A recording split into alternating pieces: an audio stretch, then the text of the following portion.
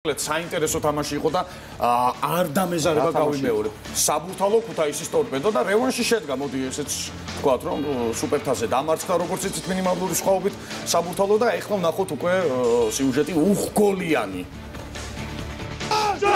კრისტალ პეტერონული ლიგის მეოთხე ტური თუ რევანშის ტური. საინტერესოა შეძლებს თუ არა საბურთალო ქუთაისის ტორპედოს დამარცხებას მოგეხსენებათ ქვეყნის მოქმედი ჩემპიონები. საქართველოს სუპერთაზე სწორედ ქუთაისის ტორპედოსთან დამარცხდნენ მინიმალური სხვაობით 1-0 ჩვენ ისე ჩემპიონები გავხდებით ამას უკვე უნოცავთ ჩვენ თელ საქართველოს და საბურთალოს რა თქმა უნდა საბურთალო საბურთალო ეს მოვიკა თან ორი რევანში ისეთი შედგა უკეთეს საბურთალოს გულშემატკივრები ვერც კი ინატრებდნენ. ქვეყნის მოქმედმა ჩემპიონმა შეხვედრა თავიდანვე აქტიურად დაიწყო. პირველი საფათო მომენტი ტორპედოს კართან მეორე წუთზე შეიქმნა. გიორგი კოხრეიძის დარტმული ბურთი კვასკვაძის კარს მცირე მანძილით აცდა. ანგარიში კი მეათე წუთზე გაიხსნა. როინ კვასხვაძის არაზუსტ გადაცემას ლაშა შინდაგორიძე დახვდა და ერთი შეხებით დროულად მოძებნა გეგა დიასამიძე რომელმაც სტუმართა კარი მარტივად აიღო პირველი გოლის შემდეგ მასპინძლები უფრო გააქტიურდნენ. შინდაგორიძემ თანაგუნდელისგან ულამაზესი პასი მიიღო. საჯარიმოში კი ნიკოლას ტიეპოვიჩმა წააქცია. 11 მეტრიანი თავად დაზარალებულმა შეასრულა და ანგარიში ორამდე გაზარდა.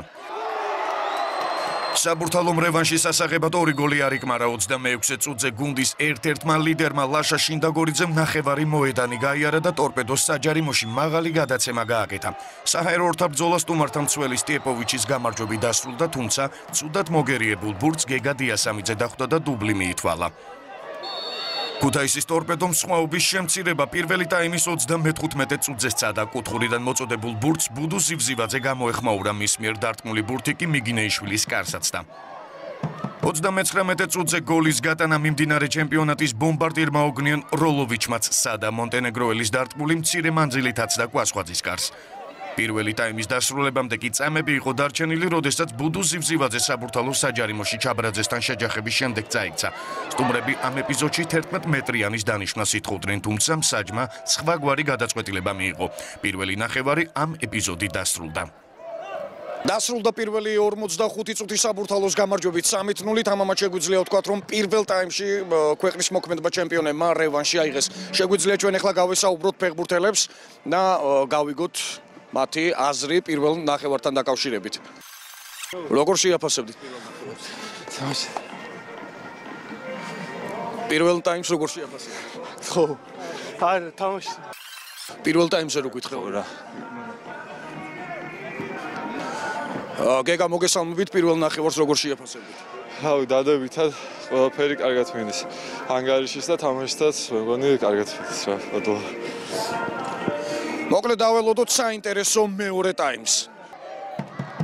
მეორე ტაიმში კახაჩხეტიანის გუნდი ცდილობდა საფათო იერიშების განხორციელებას 58 წუთზე მერაბ გიგაურმა მარჯვენა ფრთიდან მოძებნა გიორგი ქიმაძე, რომლის დარტყმულიც სუსტი აღმოჩნდა.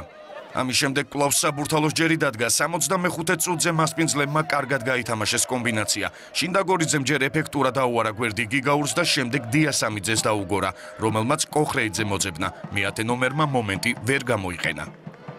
შეხვედრის დასრულებამდე 15 წუთზე ნაკლები იყო დარჩენილი, როდესაც ცინცაძე მარცხენა ფრთიდან საფათო ჩააწოდა ბუდუს ივზივაძემ კი ამ ეპიზოდით ვერ ისარგებლა. მსაჯის მიერ დამატებულ წუთზე კლავ ზივზივაძე გამოჩნდა საბურთალოს საჯარიმოსთან შორიდან დარტყმული ბურთი კლავ მიზანსაც და შეხვედრა კი საბურთალოს გამარჯვებით 3-0 დასრულდა. ამ მოგებით გიორგი ჭიაბრიშვილის გუნდი 12 ქულით პირველ ადგილზე იმყოფება. დასრულდა კრისტალბეთ ეროვნული ლიგის მეოთხე ტურის შეხვედრა საბურთალოს გამარჯვებით 3-0. მე მაქვს საშუალება გავესაუბრო ქვეყნის მოქმედი ჩემპიონის საბურთალოს ფავორიტ ბატონ გიორგი ჭიაბრიშვილს. ბატონ გიორგი პირველ რიგში გილოცავთ გამარჯვებას, ასევე როგორც ვიცი, გუნდს 20 წელი შეუსრულდა არსებობიდან, საიუბილეო სეზონია, ასე ვთქვათ, საბურთალოსთვის. როგორ შეაფასებდით დღევანდელ შეხვედრას და რის ხარჯზე მოახერხა თქვენმა გუნდმა ქუთაისის ტორპედოს ერთ-ერთი უხერხული უხერხული მეტოქის დამარცხება. ერთ-ერთი უხერხული და ერთ-ერთი გამორჩეული გუნდი არის. უბრალოდ მე უცებ აი ხლა რაც ცხელ გულზე შემიძლია თქვა, პირველი ტაიმიდან ძალიან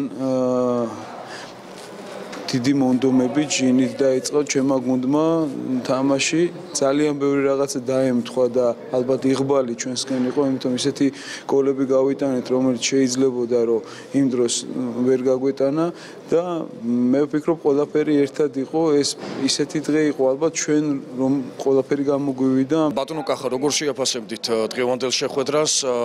თქვენი ასისტენტი და ზოგადად ქუთაისის ტორპედოს სათადარიგო სკამიდან ხშირად გვესმოდა პროტესტი მსაჯების მისამართით. მსაჯობით რამდენად ხართ უკმაყოფილო? ნამდვილად არა ვარ უკმაყოფილო. კარგად იმსაჯეს უბრალოდ დღეს მოწინააღმდეგე გვაჯობა და დამსახურებულადაც გაიმარჯვა. არაფერი მსაჯი ხან შეიძლება შეცდეს ხან არ შეცდეს მაგრამ მე ფიქრობ რომ ვიცი ეხლა ვიდეოზე ვნახა, მაგრამ ეს ჩემი გასაჟელი არ არის, ისინი ადამიანები არიან. ნამდვილად არ ვიცი ეხლა იქ რა მომენტი იყო, თუ ვინ ჩვენ 11 მეტრიანზე, თუ ვინ მათ 11 მეტრიანზე, მაგრამ არავითარ შემთხვევაში ვიცი ეხლა.